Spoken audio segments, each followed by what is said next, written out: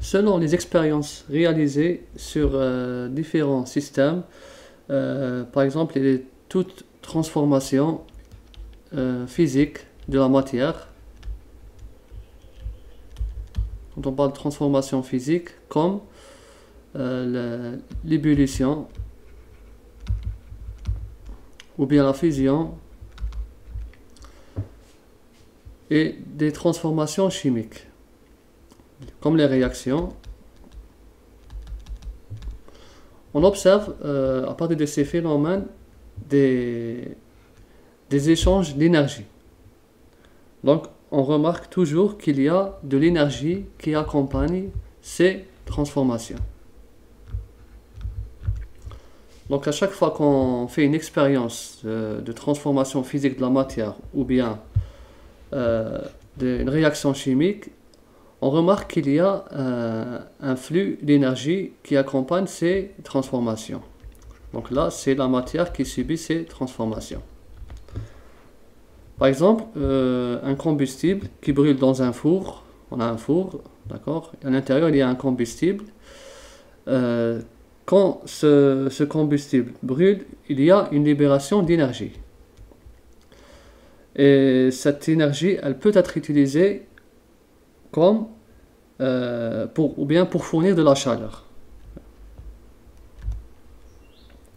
Cette, cette, énergie, euh, elle provient de la combustion de, ce, de, ce, euh, de, cette matière.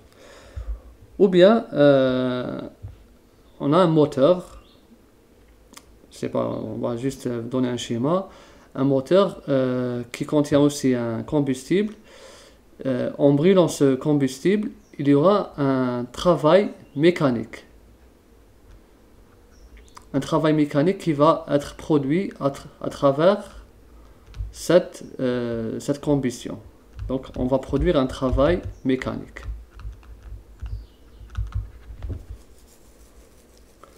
Des réactions, de nos jours, des réactions chimiques sont exploitées pour produire de l'énergie.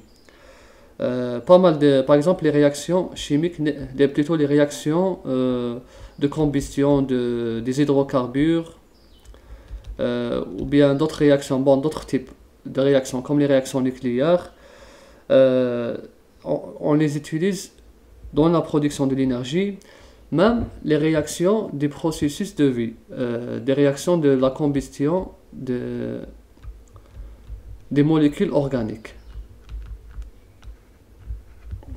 La combustion des molécules organiques euh, sont fondamentales au fonctionnement des corps humains. Le fonctionnement des corps humains. Donc ça, c'est grâce à ces combustions que qu'on peut, par exemple, courir, faire du sport ou autre. Euh, donc, euh, en thermodynamique, donc là on revient à la thermodynamique. Euh, c'est quoi la thermodynamique? C'est une science thermodynamique. Donc c'est quoi? C'est une science qui étudie les échanges d'énergie. D'accord? Donc c'est une science qui s'intéresse ou bien qui étudie les échanges de ces énergies, ou bien la, production de, de, cette énergie, les échanges d'énergie, ou bien le flux d'énergie. D'énergie qui accompagne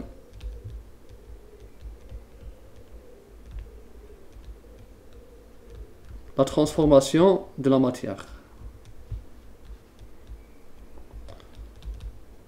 transformation physique ou bien chimique. Transformation, on va dire physique ou bien chimique de la matière.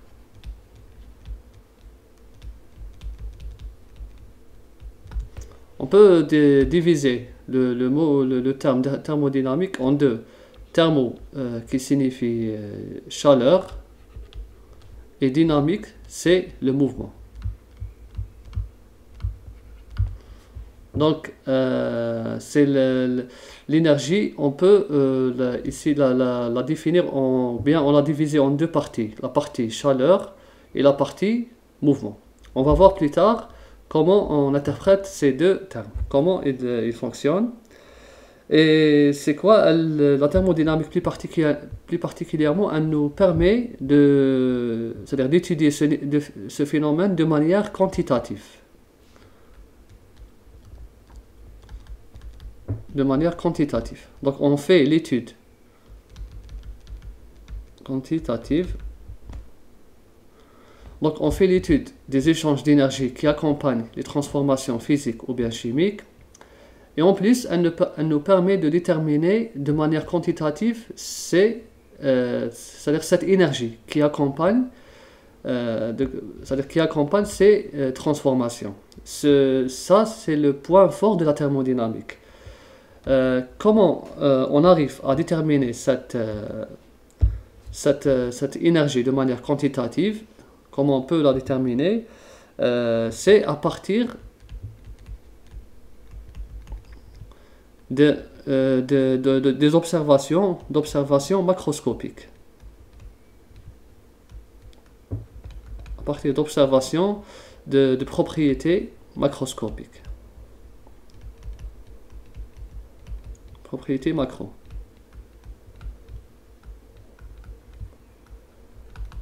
Quand on parle de propriétés macroscopiques, par exemple le volume, propriété macroscopique de la matière, le volume, par exemple la pression, la température,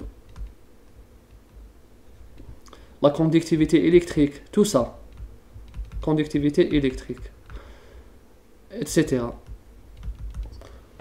Donc le, point fort de la thermodynamique, c'est quoi? C'est qu'à partir de, de, propriétés observables euh, à l'échelle macroscopique, on peut euh, obtenir, les, on peut quantifier l'énergie échangée entre la matière et euh, le milieu extérieur.